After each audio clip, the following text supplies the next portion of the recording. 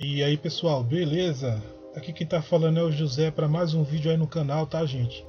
Nesse canal aqui vou ajudar vocês aí a desativar as atualizações automáticas aí do seu PC, beleza? Para fazer o Bill Gates aí não ficar empurrando a atualização goela abaixo aí sem dó. Então para fazer isso, gente, vamos fazer o seguinte, você clicar aqui, ó. Tem duas maneiras, tá? Vamos nessa aqui que é mais simples.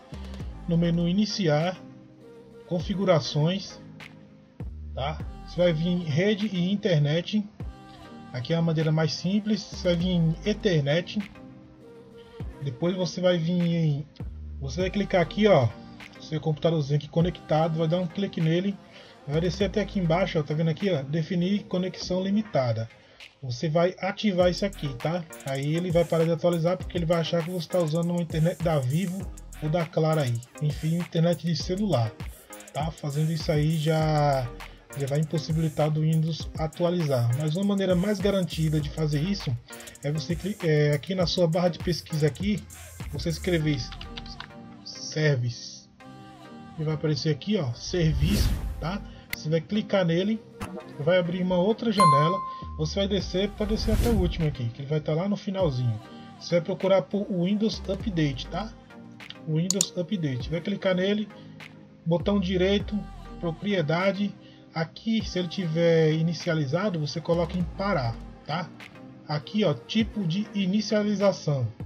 Você vai colocar desativado, beleza? Vai desativar aí as atualizações automáticas do seu Windows aí. Outra maneira também é você vai procurar por atualização de orquestrador, alguma coisa assim. Deixa eu procurar aqui, deixa eu ver se eu acho.